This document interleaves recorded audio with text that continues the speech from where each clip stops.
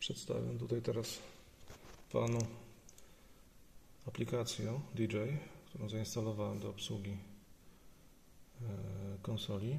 E, Zaraz na starcie jest informacja, że można nabyć e, wersję Pro, która ma więcej możliwości. Wersja podstawowa, z tego co widzę, jest darmowa i można bez problemu ją obsługiwać przy pomocy konsoli. Sterujemy sobie albo tabletem konsolą, albo z konsolą tabletem. I zaraz tutaj pokażę to, co w tej chwili tak na szybko udało mi się sprawdzić.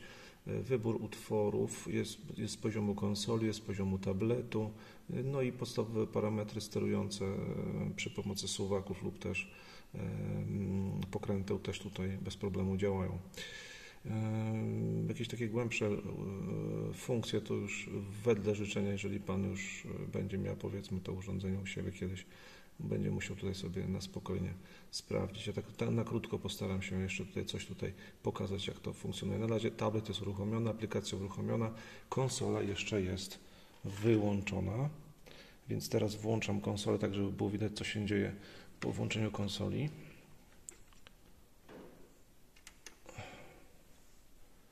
Jest choineczka. Dobrze. I zaraz powinna zareagować aplikacja.